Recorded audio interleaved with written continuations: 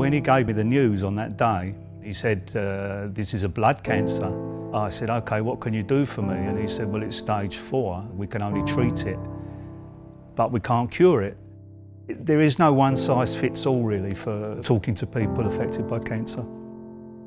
Feeling alone is very hard for people to understand.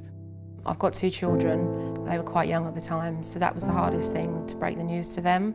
I guess I felt like I'd kind of let them down. One thing that people used to say a lot was, cheer up, you might get run over by a bus tomorrow. That just made me feel really like bad about myself for moaning, having a, you know, a bad day. Have you thought about your lifestyle? Can you look at yourself in the mirror and say that wasn't my fault, that sort of thing? It was extremely hurtful. The best support was ones that kind of um, look to make light of the situation in, in, in the right way, obviously.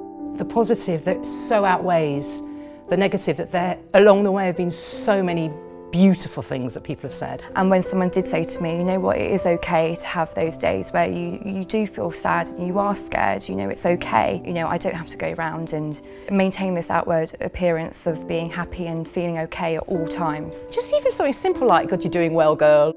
All my football pals were, were all ringing me up and saying, come on, Chris, come on. You know, you, you're coming to football before the season ends. And that was such a great encouragement. She took me to her very funky hairdressers because my hair started to fall out and my hair's always been a really big part of me and they just cut my hair into this sort of 80s look and it was it was so beautiful and I came away just feeling like what a great start to a horrible journey.